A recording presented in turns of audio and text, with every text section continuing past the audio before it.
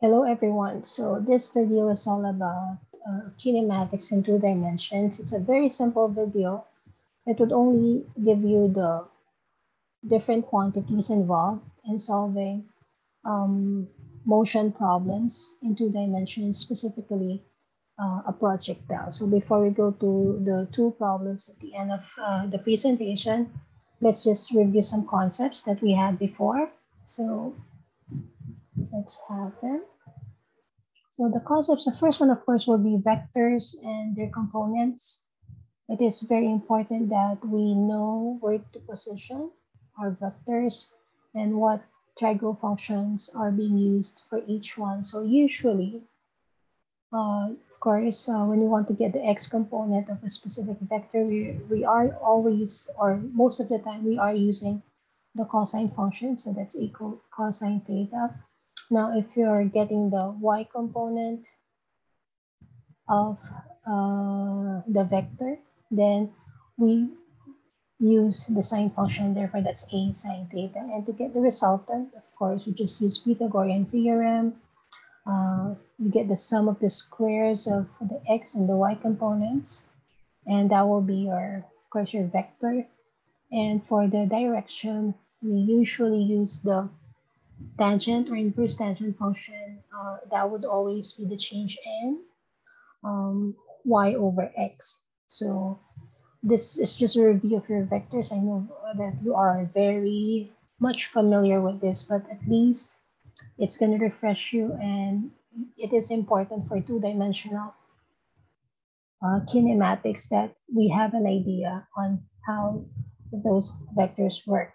Okay, the next one will be uh, some quantities involved uh, in two-dimension analysis. So of course, we would always have the three motion quantities. We have position, or usually this displacement or distance, velocity, and of course acceleration, meters, meters per second, meters per second squared.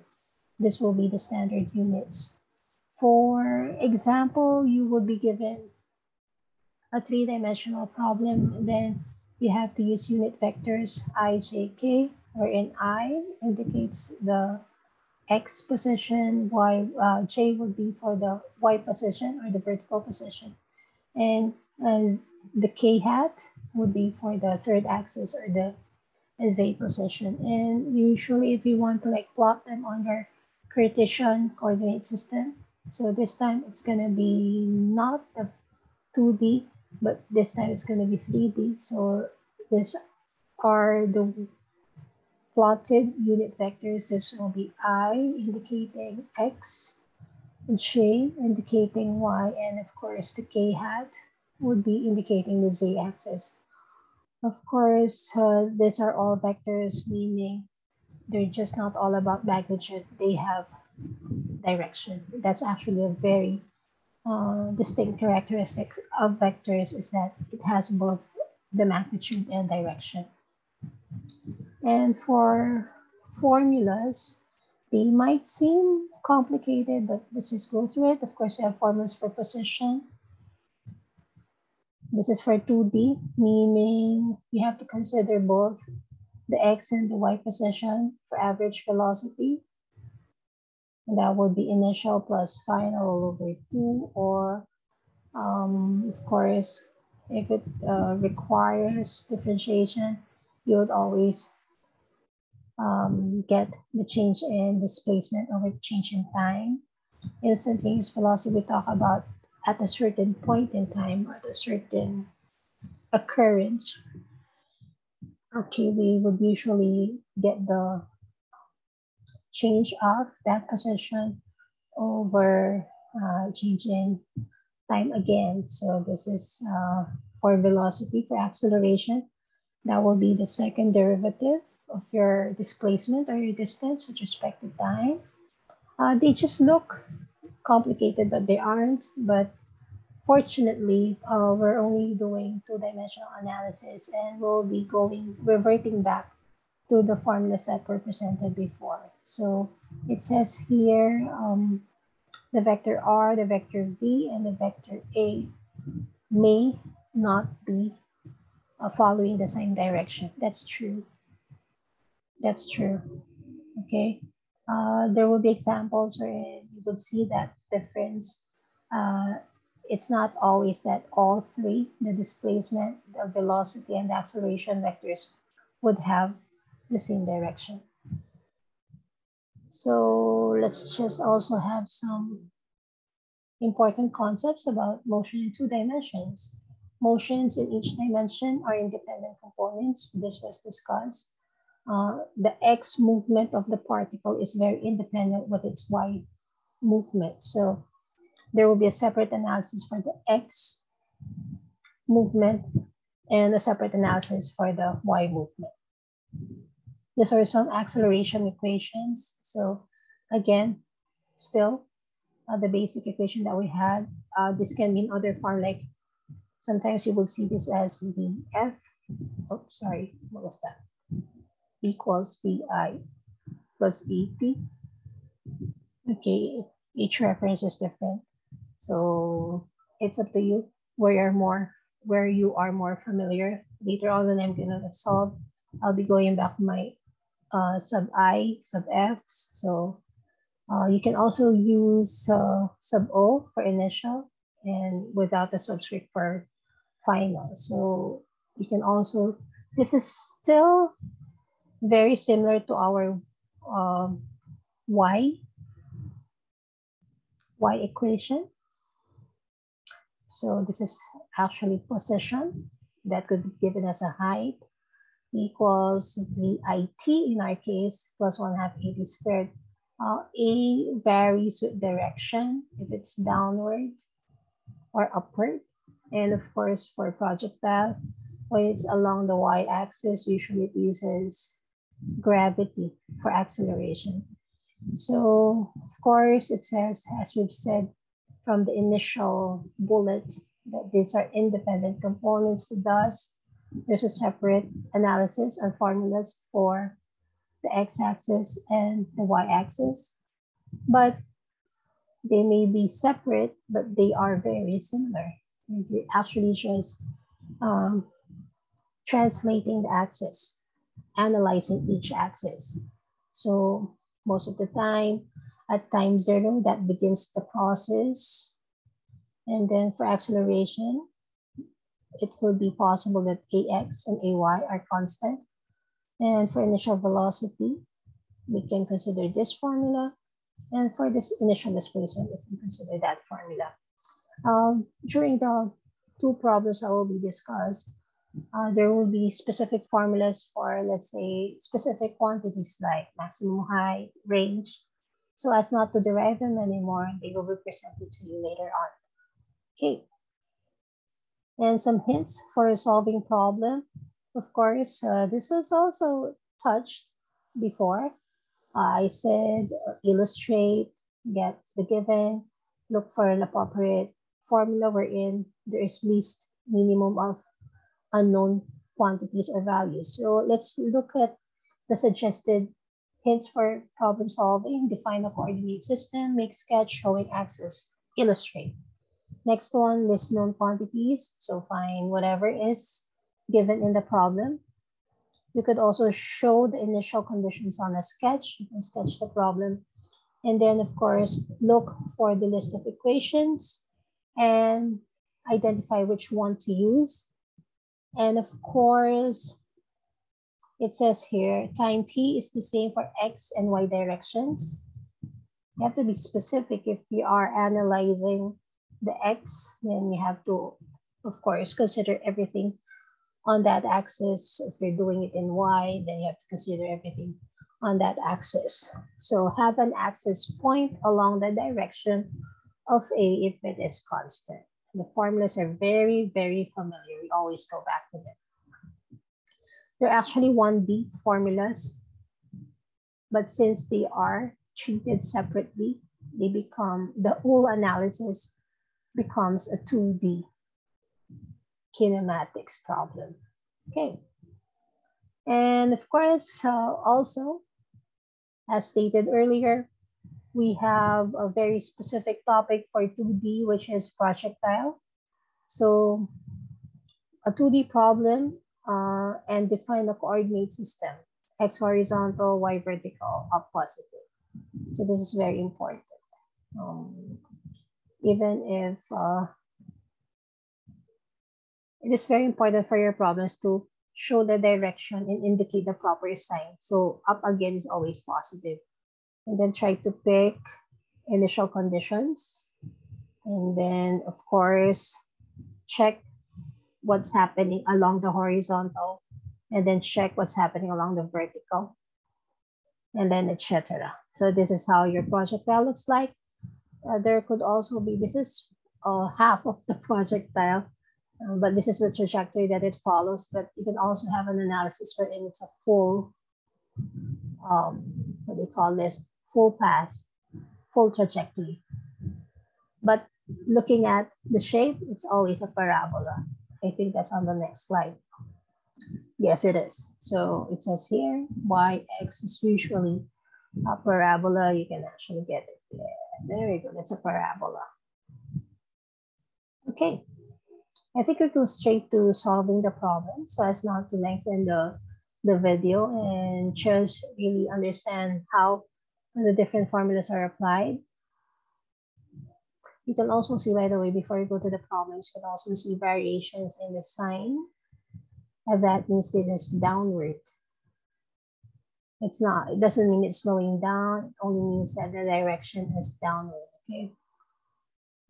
So what else is here? Okay, um, more equations. And this is how it usually happens along the path. At different points along the path, it could uh, there could be a possible analysis, but very distinct would be, of course, uh, initial conditions, we can assume that velocity can be zero, can be, I can say always zero, can be, but time is always zero at this point. Here, final velocity at maximum height usually is zero because it stops. But if it's a starting point, then of course that becomes an initial velocity. So, but remember at maximum height, that particle or that object would stop momentarily before it goes down. And the uh, path is consistent at any point in that path you can actually analyze. There would always be x components of the velocity and of course y components of the velocity. And along the path is actually the vector b. Okay. Examples, of course, would be a basketball, a baseball, soccer, throwing something from point A to point B with an angle that would create um, a trajectory. Okay. And as I've said, trajectory, this is the path, and in, in that path, you can actually get any point, and you can actually also just uh, solve quantities as long as, of course, there will be enough given and you can identify the correct equation to use. So just go over this when you have the time. Uh, the, the purpose of the video is just really to solve uh, the activity problems that we had last time. So also this can serve as uh, a sort of uh, refresher for the topic. So here, what is R and H? R is range its range. And H usually is the max height. Okay, sorry for the handwriting. So again, range will be the whole trip, the whole path, but it's usually the horizontal. And when you talk about H, that's usually the maximum height. So there will be formulas given. These are already, if I were you, my suggestion would, for you would be to remember them. So for R, this is our formula. It's vi squared sine 2 theta all over G. For maximum height, you can get this formula. And T here is actually for the whole flight. You can also remember that formula because we will be using them in the different problems that we'll be solving later on. Okay, again, this is T for the entire flight. Meaning, um, if you want to get time at maximum height, then you just divide it by two. And then we also have a formula for range, which is this horizontal distance. So this is the formula. And we can also just get the formula because these are all, there are very specific characteristics of the projectile. That's why you can already compress the formulas to such and they will be applicable to most projectile problems. So this is for maximum height, so we can use that later. And this is, um, of course, at different angles, it just shows you uh, the effect of increasing and decreasing the theta or the angle of launch, launch angle. So you can see here, if this is a 15 degree angle, this is a 30 degree angle, this is a 45 degree angle, etc. Okay, and it says here, this is usually uh, one trivia question most of the time, the maximum range, meaning uh, the horizontal distance the maximum horizontal distance can be achieved using a 45 degree angle. Okay, let's go. And then again, it's repeating. This is the formula for range, which is uh, VI squared sine 2 theta all over G. And let's start, of course, with the problems. There were only two problems for 2D in your activity. So I'll be taking both of them. You could have probably seen the problem with only one given. So as I've said, also from the previous video that I compressed them and created one problem out of those. Because you might have you might have been given the pro uh, the, the same problem but looking for a different uh, quantity. I believe that each problem was given one unknown, meaning one quantity to solve for. Uh, you were not given a problem like this wherein the three were being asked. So let's read the problem. A frog jumps from the ground at an angle of 25 degrees to the horizontal at, at an initial velocity of 0.6 meters per second. The different quantities that we have to look for would be the first one, how long does it take for the frog to reach maximum height? As I've said, we have a formula for this. There will be what will be the maximum height that the frog was able to achieve during that jump and how far does it jump? I'm assuming the frog starts here until it goes to this point. So what is that? What is that delta x? So that's usually, of course, our r and this is our H. And the whole thing would run at T. So let's start. Let's go straight ahead and solve the problem. So let's first have, we're looking for T to reach what? The maximum height. Well, course, let's look at the given. That's theta, that's 25 degrees we have an initial velocity of 0.6 meters per second. And we're looking for time. And we have a formula. If you go back to the slides, we have a T equals, this is the formula we can use, 2 VI sine theta over G. So we can use that. I can, uh, let's put it here. P now is equal to 2 Actually, uh, if you really want to be more specific, that's actually the y component of the y. Oops, that, that was erased. that was undone. Equals, um, we can say that's 2 vi sine theta. Oops. All over G. But remember that this t here is the total time of flight.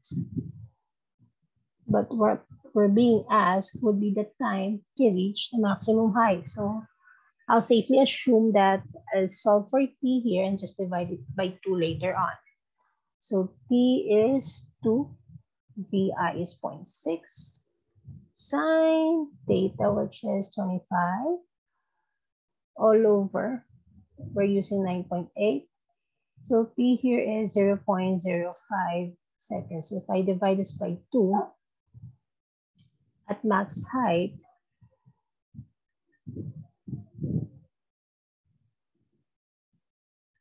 this is 0 0.05 over 2. It's 0 0.026. You might think that is 0 0.025, but if you like input the whole value, the whole formula in your calculators, you will get 0 0.026 seconds. Okay, that's, that's our answer.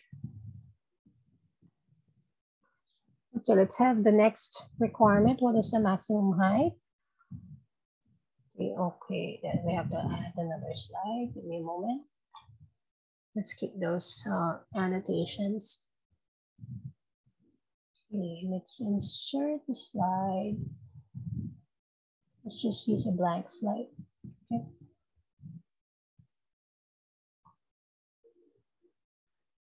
Okay, we have a formula for maximum height. We need to use it. It's letter B.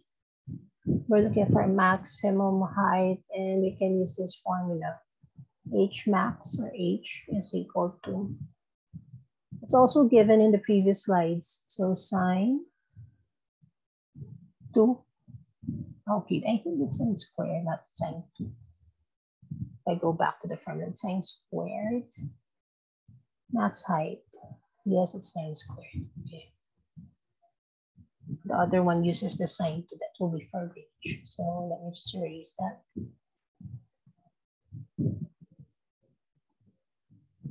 Okay. So that's vi squared sine squared theta all over 2g. All you have to do is, of course, substitute the, for, uh, the given values. So that's 0.6 squared sine squared. We are using 25 degrees all over 2, 9.8. And for solving it, you'll get 0 0.003 meters. What's nice about the activity is most of you were able to get the correct answers. Uh, yes, uh, I'll probably tell you that, yes, you can Google the answers for this activity, but not all would have a, a solution video, so I'm doing them again. And finally, letter C, which is range, or in the given, this is your delta x. Go back, let's see. There you go. We also have a, a, a ready-made formula for range. So range for R is equal to VI squared. This is where I need to use the two theta. All over G. So this is equal to 0 0.6 squared sine 225 all over 9.8. So the range or the total distance, the total horizontal distance is 0 0.028 meters. So the three answers that we need to see or you need to type in those boxes will be the following. K range, again, the horizontal distance is 0.028 meters. The maximum height is 0.003 meters. And the time to reach the maximum height will be 0.026 seconds. Okay, that's the whole solution for the frog problem. And we also have another problem, which was the stone problem.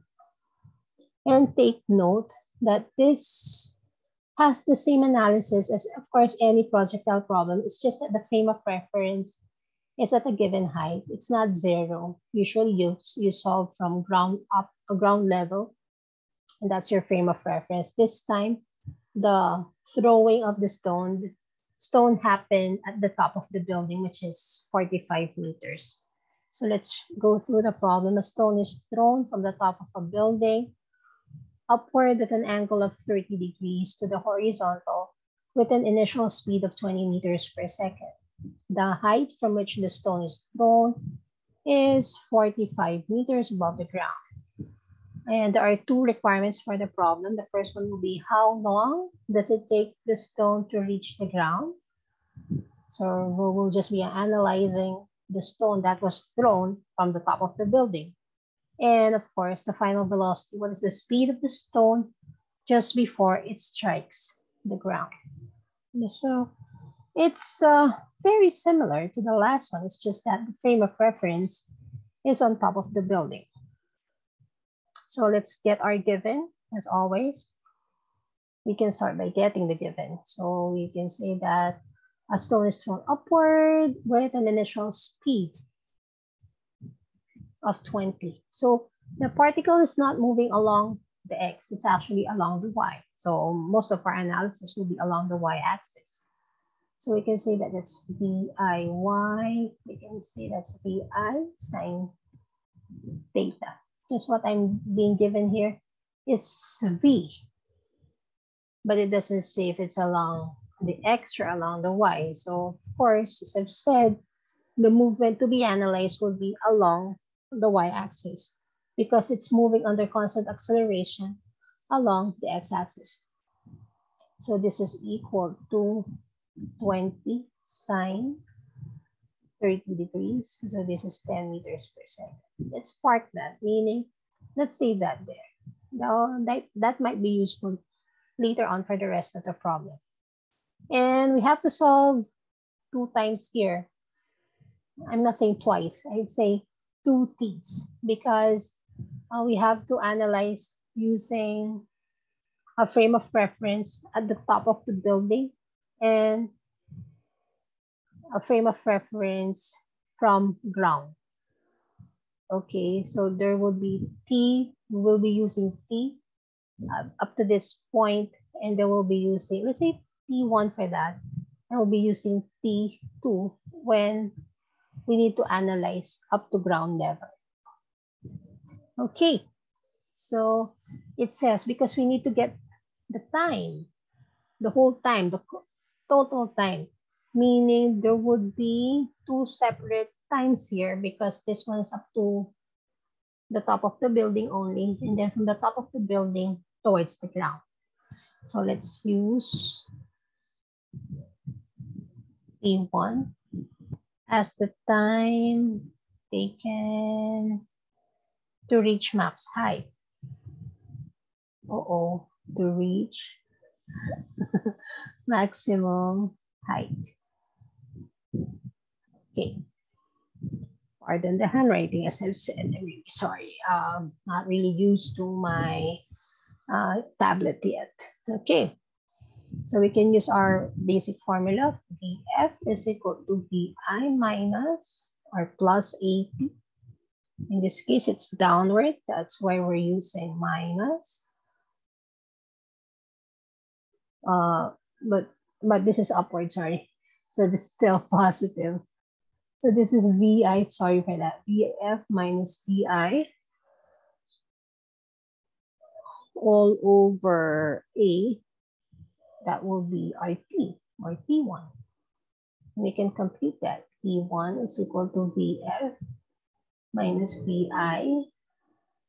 Our, in our case, this is now G because we're relying on vertical motion and that vertical motion is of course induced or affected by gravity. So this is my, uh, let's just put G there.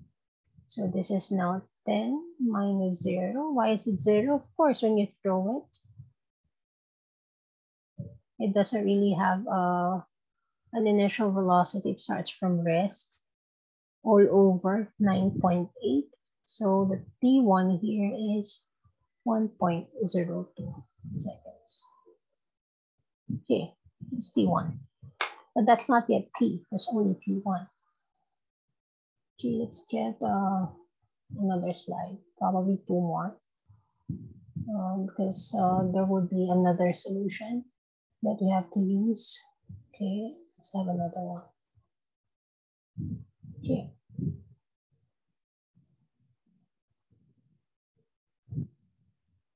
Okay, that's lagging. Okay, perfect. And let's have, let's continue. So we also have to get the maximum height because we have to compute that. Why am I getting the maximum? Okay, sorry for that. Why am I computing maximum height? Because you have to get the maximum height at this point, plus, of course, the height of the building. Because you also have to consider that for letter B, we need to get the final velo velocity before it strikes the ground. Okay, so we can use our formula for maximum height. H is equal to vi squared sine squared theta all over 2g. This is a given already. Uh. So that's 20 squared sine squared 30 all over 2. 9.8, we're getting 5.1 meters. But take note that 5.1 meters will be its maximum height at this point here. Let's change there. Now, to reach the ground, you have to get the total vertical distance. So you'll get probably let's just just y, which is the total vertical distance. So we can say that our y here will just be the height of the building plus our computed height, which is 5.1 meters. The total height for the whole uh, scenario will be 50.10 meters. And we can actually get the time by using this formula. Y is equal to Mm, let's use our basic formula VIT plus 1 half GT squared. Mom, how come you're using G here as positive? Positive because at this point it's going to go down. It's going down to the ground. So by nature, of course, you know that gravity was positive going downward. So you can say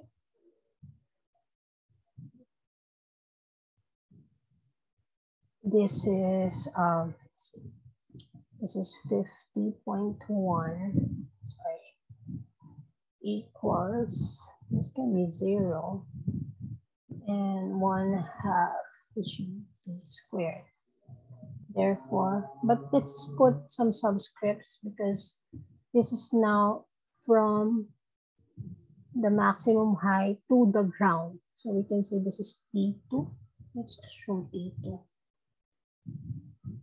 so that later on you can see the difference.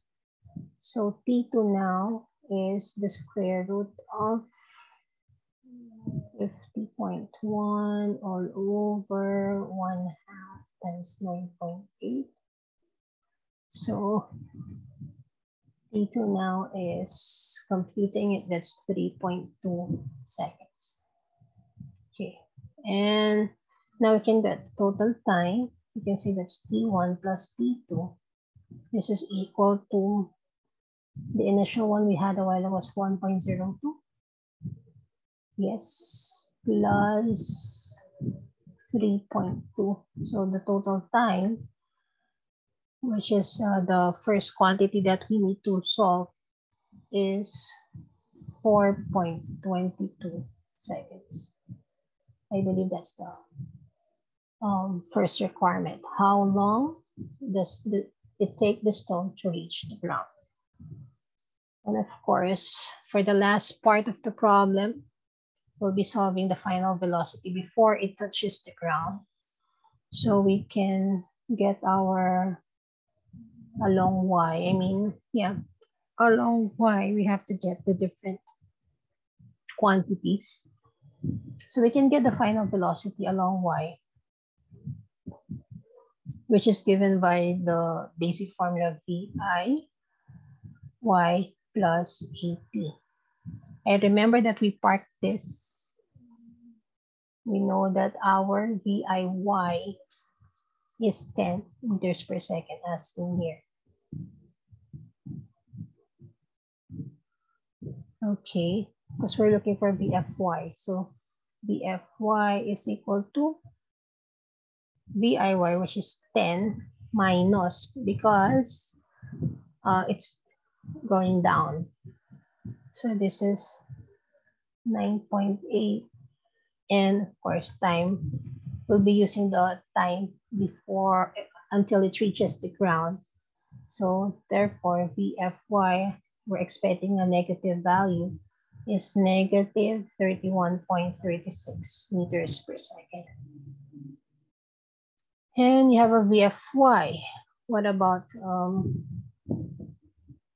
VFX? Because we have to get VF. So we're looking for VFX and VFX is just V F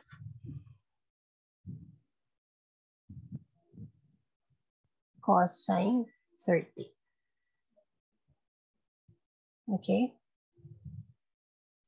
So we will get VF, which is 20. Because along the x, it's constant. So your velocity is working. Um, I mean, it's constant. You have constant acceleration along the x. I'm sorry. That was, I have to correct myself. But we can get this. So that's VF uh, cosine 30. So our VFX here is equal to 17.3 meters per second. Now we have VFY, we also have VFX. Now we can get VF. And our VF will be the square root, of course, getting by Pythagorean theorem. That'll be VFX squared plus VFY squared. So VF now is equal to the square root of 17.3 squared plus negative 31.36 squared. So our final velocity just before it reaches the ground is 35.81 meters per second. I believe in the exam, uh, I mean in the activity, we were looking for 35.8. Okay, that's those are the two problems before. This is almost 40 minutes. So before uh, we end this video, please just go ahead and go back to the different formulas that we've used for projectile. Uh, so solving projectile problems is usually straightforward as long as you know uh, that you have to separate the analysis for uh, the motion along the x and the motion along the y. So this is uh, our short presentation for projectile and I hope you can use it for your review. Okay, that will be it for now. Thank you so much for uh, listening and please don't forget to subscribe, follow, and just, you know, click that bell. Thank you so much and good day, everyone.